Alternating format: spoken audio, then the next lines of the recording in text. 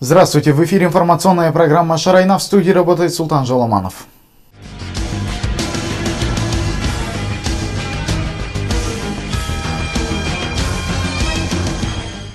Честь 330-летия знаменитого казахского батыра Харакирея Хабамбая Международным фондом Хабамбай совместно с Международным сообществом казах была запущена велоэкспедиция. Что интересно, на велоэкспедиции участвует только один человек. Он проедет по тем маршрутам, где когда-то Хабамбай Батыр вел свои войска против джунгаров, а именно Конграулье в Абайском районе. Дальше одно из последних мест сражения Ойран в Урджарском районе. Подробнее, куда держит путь велоездок, смотрите в нашем сюжете ответственный секретарь Международного сообщества казах тілі и краевед Иртыс Нуркасым 9 июля выехал из города Семей на велосипеде. Проводить его на ответственную поездку пришли друзья и юные велосипедисты. Планируется, что Иртыс Нуркасым проедет через поселок Абамбай Урджарской области и завершит велоэкспедицию на берегах озера Алаколь и приедет прямо во время празднования 330-летия Кабамбай-Батыра. Эта велоэкспедиция считается как день уважения памяти Кабамбай-Батыра, которому в этом году будет 330 лет. Народ не забывает своего героя, который спас казахский народ от налета джунгаров. Он оттеснил врагов, когда они чуть не стерли казахов с лица земли. Поэтому память о нем останется навеки в наших сердцах.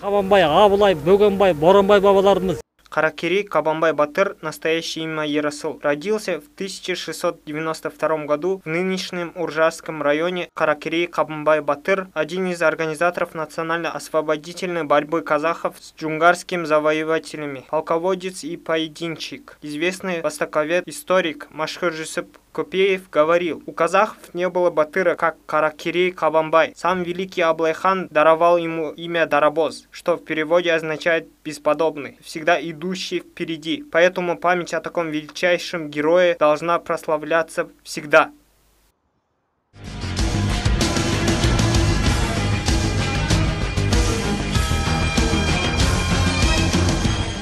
Честь дня рождения великого поэта казахской степи, прославителя и философа Шакарима Кудайбердиева коллективом университета совместно с Акиматом города Семей было организовано мероприятие по возложению цветов памятнику. Собравшиеся отдали дань уважения поэту и прочли несколько его произведений.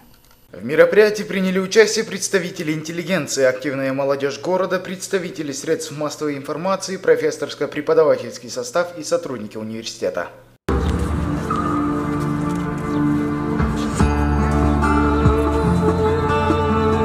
Шакарим Кудайбердиев – выдающаяся личность, занимающая большое место в истории казахской культуры. Он отличается от современников высоким интеллектом, мудростью и проницательностью.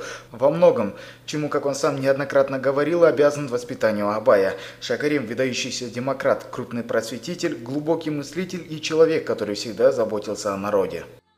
Бүгін ұлы мереке бабамыз шәкәрімнің Сегодня великий праздник, день рождения нашего великого предка Шакарима. К тому же он выпал на последний день Курбанайта. Для возложения цветов памятнику Шакарима собрались выпускники всего университета. Сегодня мы будем читать его произведения, чтобы отдать дань уважения поэту. Ведь философские мысли Шакарима, его наследие – это урок для следующего поколения. Я очень рад, что день рождения Шакарима совпало с образованием Абайской области, потому что Абай и Шакарим – это как два синонима, одного без другого представить невозможно.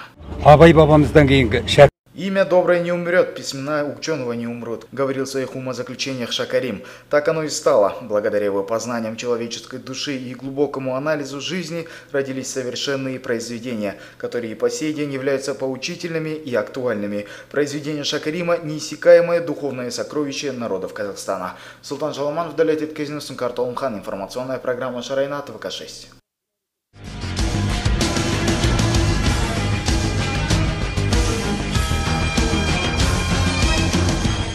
Сегодня третий день Курбанайта, главного праздника всех мусульманских народов.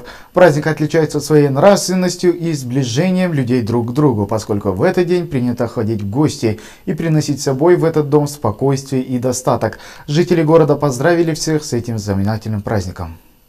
При праздновании Курбан-Байрама мусульманам следует совершить полное омовение и надеть чистую и праздничную одежду. В мечети совершается праздничная молитва, после которой читается проповедь худба. Она обычно начинается с прославления Аллаха и Мухаммеда, затем разъясняется происхождение хаджа и значение обряда жертвоприношения. Обряд жертвоприношения совершается с целью стать ближе к Аллаху и получить его благословление.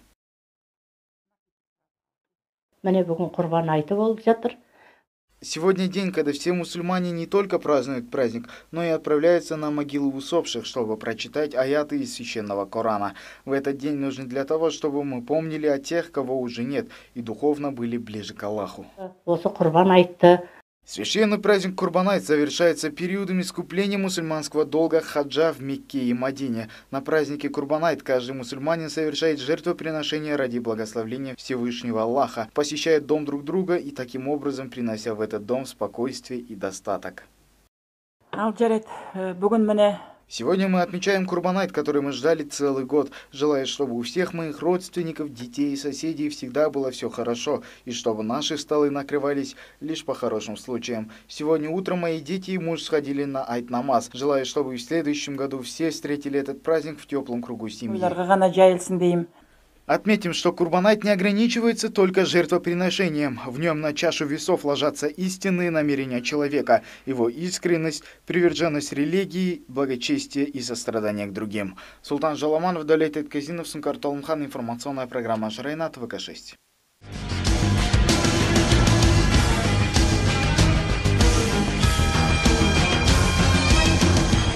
Это были все новости на сегодня. Оставайтесь с нами на связи. До скорой встречи.